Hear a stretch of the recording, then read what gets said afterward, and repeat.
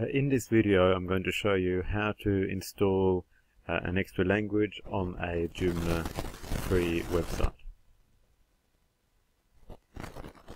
So we'll go first to the language manager and here you can see we already have two languages installed and English is the default language on this website. Now click install language and you'll get a list of languages you can choose. I'll go for Chinese simplified and click install.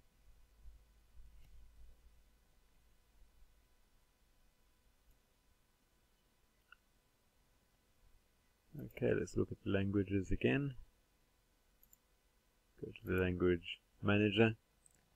Now we can see that Chinese is installed. Now there's a few more steps we have to do. We have to go to the content area and here you can see there's still only English and Thai. Take note that for um, the languages there is the system name, there is a native title which is displayed, can be displayed in the website itself.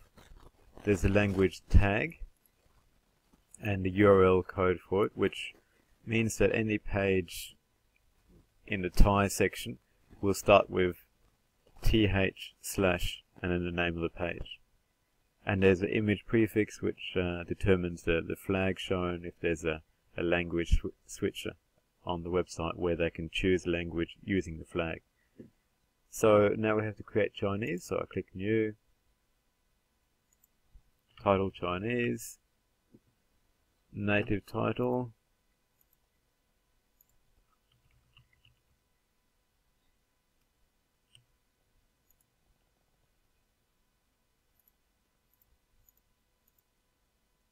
language tag.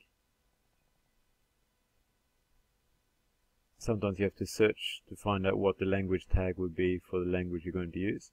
For Chinese, CH, ZH, that means uh, Chinese in the land of China.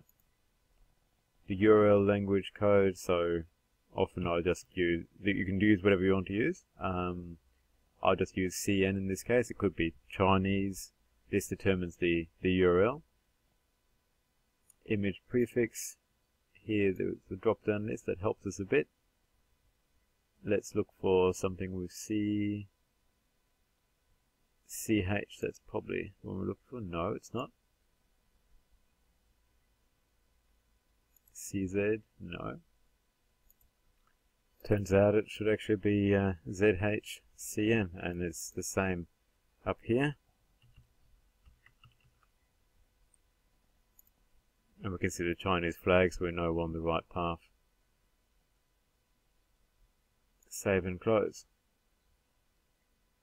Now, uh, we have Chinese as a language on the website. Now, for each language on the website, there needs to be a separate menu. Uh, we have to have one menu. Um, I usually call it a hidden menu, where we have a, a a home page that is set which will not actually be displayed to anyone. And that has to be set to be in, in any language or all languages. So I, I create a page, I set it as as um, the default page. And I set the language to all. And this is default. So I just have this in a menu by itself, and that is essential for the multi-language function to work in Joomla. So having created that, one can then go ahead and create the other menus for the other languages. So we have created a menu for English and a menu for Thai. Now, you'll notice that the each one has got its own home page, and that home page is set to the language that we're using. So now we're going to create a Chinese menu.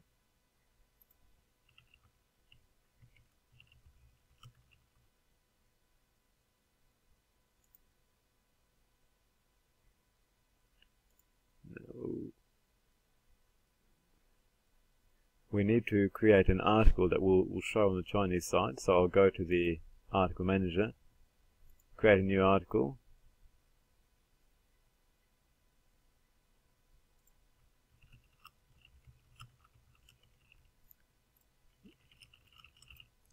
and uh, I just have to set the language to be Chinese. Save and close. Then we go back to Chinese menu. We uh, create a link to that page. And we have to specify that the language will be Chinese, that this will be the home page and save and close. So now we've got a Chinese menu, an English menu and a Thai menu. If this is the, the first time you've set this up then you should also go to the plugin manager do a search for lang for languages and you'll see two plugins coming up. I usually only use this one, the language filter. Make sure it is enabled and I usually allow people to to um, choose the language that they want.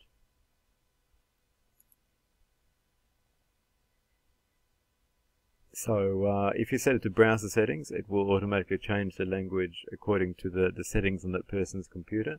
If you set it to site language, it will default to the default language on the website.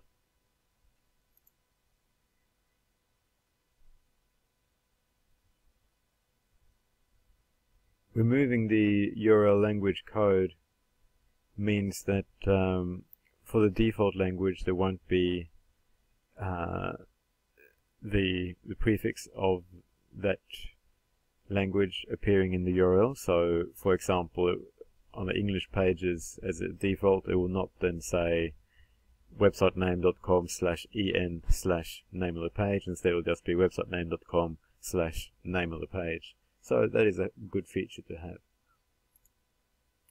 Save and close. Go to the uh, module manager and uh, create a new module which is a uh, language switcher. We have already created it on this on this website, but when you create a new module, just click language switcher and you'll be able to create the module. It needs to be set in some public location and it will enable a user to change between English and the other languages on the website. You can choose whether or not to use the flags for buttons that people can use to, to flick between or whether there should be a, a drop down list of languages available on the website. Make sure of course it is set to a, a position on the website and is published and save and close. With all this in place, the website will now have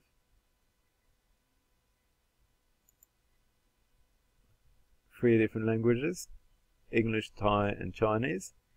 And when a user clicks on any of these flags, it will switch between the languages.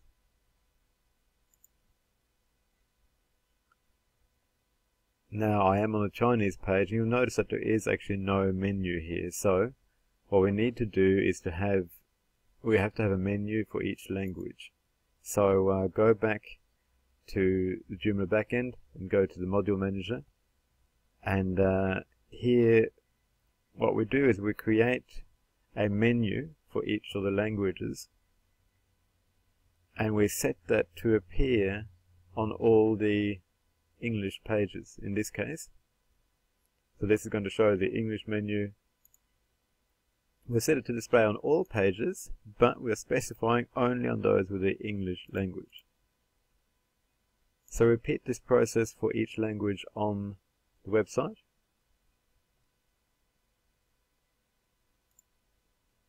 Now I'll um, create a Chinese one quickly for us.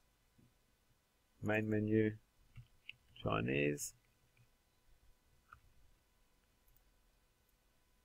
Chinese published to make sure it is set to only display on Chinese pages on all pages and save and close. So now in theory the website should load okay. Okay, now we've got the Chinese menu is here. So I hope this helps as a brief introduction to how to create a multilingual Joomla website. Uh, if you have any questions, uh, do uh, let me know and we're happy to help you.